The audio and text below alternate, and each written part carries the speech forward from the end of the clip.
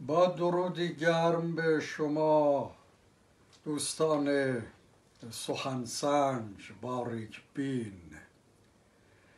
از این پس به یاره خداوند رشته برنامه ای را ما آغاز می کنیم سامان می دهیم با نام لغزش های زبان پارسی. خواست من از این سرنام آن لغزش است که در زبان پارسی از سر ناآشنایی با این زبان رخ می دهد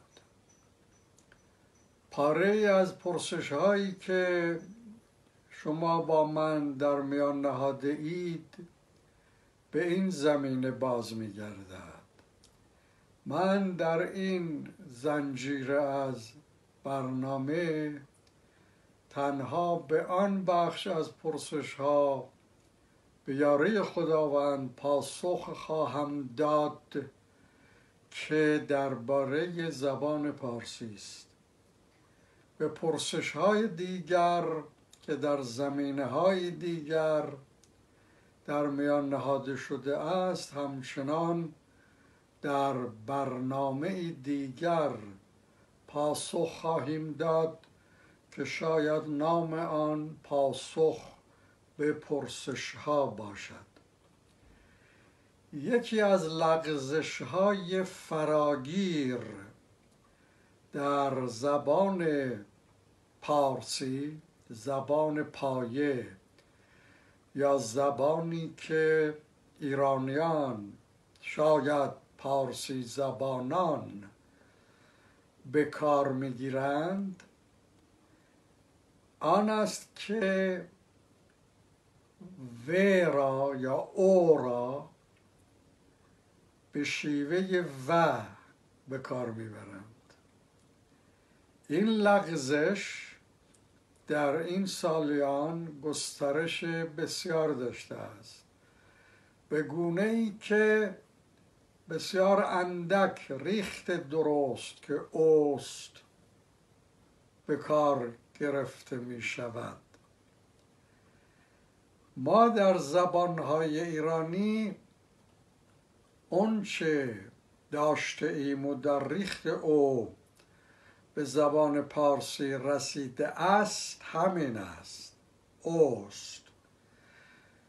واژه‌ای که با آن دو واژه یا دو جمله را به هم میپیوندیم.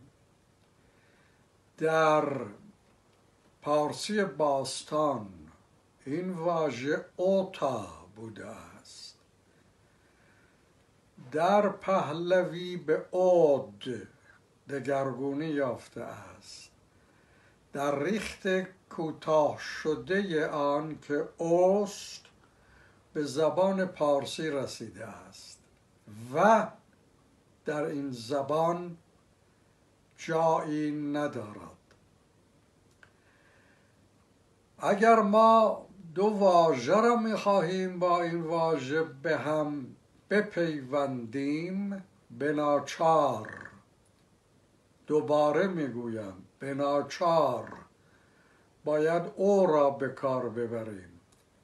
وگرنه لغزشی بنیادین خواهد بود و رسوا. برای نمونه در آمیغها یا ترکیبهای مانند زن و مرد پیر و جوان پست و بلند میباید او به کار برده بشود. مرد و زن پیر و جوان پست و بلند نادرست است. در دری کهن هنگامی که دو جمله را هم با این واژه به هم می پیوسته ایم همچنان او به کار برده می شده است. نمونه را در این بیت از رودکی بسا شکست بیابان که باغ خرم بود. او باغ خرم گشتن کجا بیابان بود.